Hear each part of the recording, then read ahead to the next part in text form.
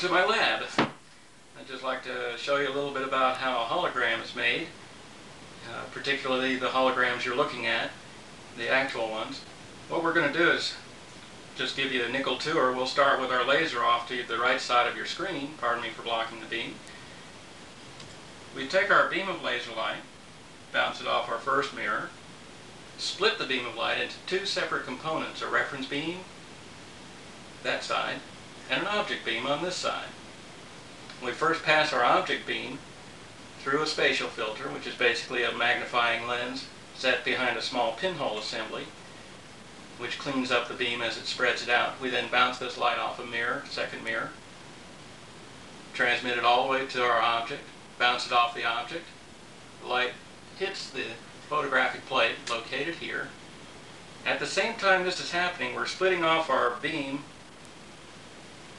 which we use our, as our reference beam. We clean it up with another spatial filter, bounce it off a mirror, mirror, mirror number three, and that light gets transmitted directly to the plate at the same time as the reference beam and the object beam collide, and then you get a 3D hologram recorded. In a moment, I'll show you how we make the, the copy.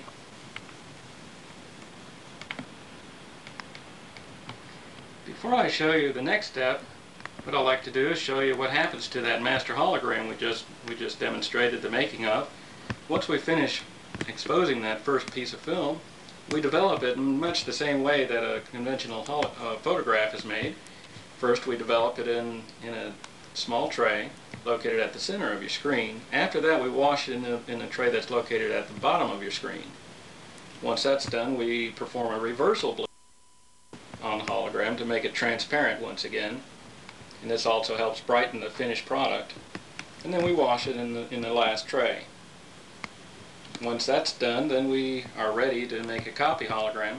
But first I'd like to show you what the, what the finished transmission master hologram looks like. And here it is. This is our master hologram, which we use in making copies.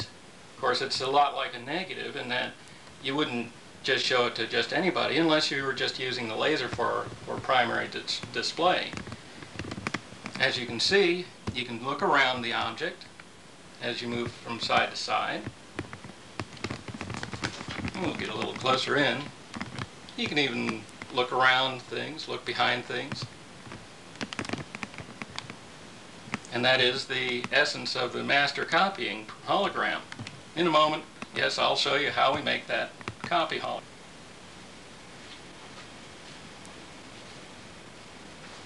Well, hello again. Miss me? Well, I'm going to show you a little bit more about our holography. We're ready to show you how the copy is made. And basically, the setup looks almost the same, only you notice there's two of these plate holders, and our other mirrors have been spread out a little bit further to accommodate these plate holders. Basically, as, as stated earlier, we split our beam into two primary beams, a uh, object beam and a reference beam. And of course, in this case, we're using our object beam, passing it through our spatial filter, bouncing it off our mirror, and bringing it to the object plate holder, which, which is now holding the original transmission hologram you just saw earlier. And this hologram basically is capable of transmitting its image from here to here. It's hard to believe, but it does. Holograms can do that. And of course here is our recording plate holder. At the same time, we're splitting off our reference beam passing it through a spatial filter, bouncing it off a mirror, and bringing the beam, the reference beam, straight to the to the object to the plate holder for our recording. Once that's done, then we develop it in much the same way that, that you saw just a moment ago. In fact, it's identical. And that concludes the, the demonstration for how a hologram is made. In a moment, I'll show you what, what the final result of this procedure. And this is our final result a hologram viewable in ordinary white light, which is shining down from above. And again, as you can see, we can move around the hologram and see what's inside, look around objects, look over and under objects. And of course, as you can see, this is actually a hologram of an Apollo space capsule model.